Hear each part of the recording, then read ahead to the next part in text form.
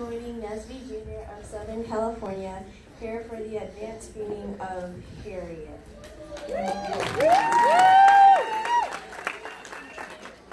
My name is Amanda Wood and I'm an eighth grader at Geffen Academy at UCLA. I am also a past president and current member of NSBE Jr. of Southern California. Good afternoon. My name is Caleb Johnson. Um, I, I am a sixth grader at Westchester Lutheran School, and I am a current member of NSBE Junior Southern California.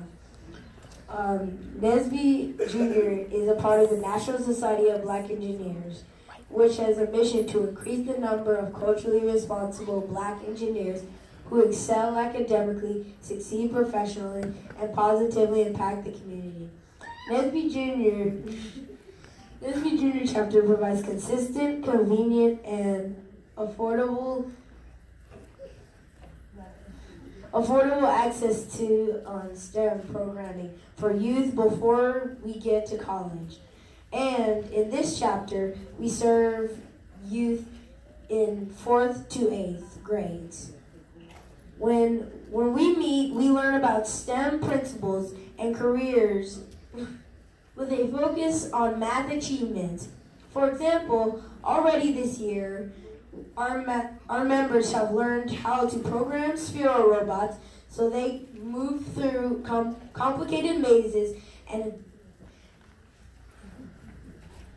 and we calculated the angles and distances of the mazes created by our advisors so we could program the robots.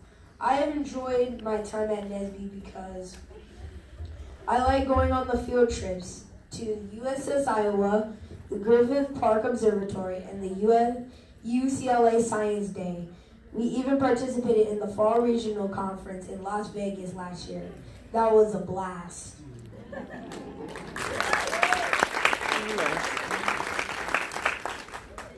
Every year, as a fundraiser, we host a screening featuring the accomplishments of a black person who has positively impacted their community. A few years ago, we hosted a screening of Hidden Figures, a movie featuring the accomplishments of women mathematicians who worked at NASA in the 1950s. And this year we are screening Harriet.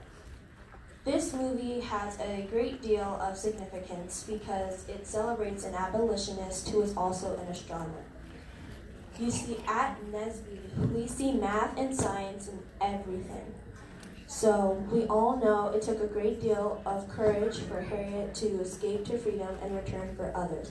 But it also took a great deal of smarts for her to travel on unpaved roads, avoid capture, and and help those who are trusting in her without the benefits of a map, compass, or a flashlight. As you'll soon see, she did it using the stars in the sky, which made her one of the first STEM sheroes here in America. Um, please take a moment to look into the goodie bags for your study guides where you can learn more about Harriet Tubman, astronomy, and the use of astronomy in Africa before Africans were enslaved. But before we move on, we have another one of our STEM sheroes here with us today, Miss Colley. Miss Colley is one of the NSBE Jr. of Southern California advisors, and she is also a real rocket scientist who works at Northrop Grumman.